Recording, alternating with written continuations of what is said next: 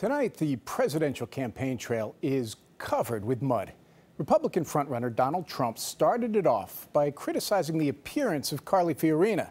Then Bobby Jindal went after Trump's hair, comparing it to a squirrel. And it didn't end there. Here's Major Garrett.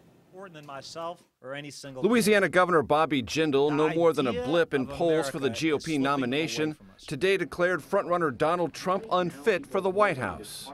The reality of Trump is what is crazy. He's a narcissist, he's an egomaniac, he's not a serious candidate. I've met a lot of politicians. Almost all of them, at one level or another, are narcissists and egomaniacs. Look, Donald Trump is in a category by himself.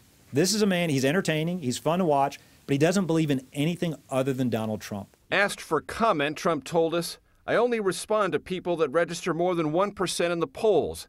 I never thought he had a chance, and I've been proven right. Do you believe Donald Trump is a man of serious religious conviction? I don't think he's read the Bible. The reason I don't think he's read the Bible is he's not in the Bible. I don't think he reads books where he's not in them. So Jindal was the second candidate in as many days to discuss Trump's religious conviction. This was neurosurgeon Ben Carson last night. That's a very big part of who I am humility and the fear of the Lord. I don't get that impression with him.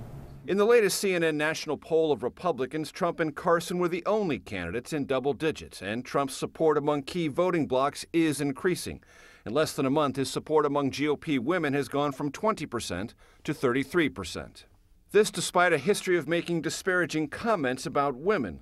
Speaking to Rolling Stone magazine, Trump said of fellow candidate Carly Fiorina, Look at that face. Would anyone vote for that? Fiorina responded during an appearance on Fox News with Megyn Kelly, whom Trump has also ridiculed. Well, I think those comments speak for themselves, and all the many, many, many thousands of voters out there that are helping me climb in the polls, yes, they're very serious. Trump said he was referring to Fiorina's persona and not her face, despite using that exact word. Carson also said he meant no offense to Trump, but Jim, Governor Jindal is happy to take on what he calls the Trump Carnival, a calculated effort to bring attention to what has so far been an attention starved campaign. Major, thank you.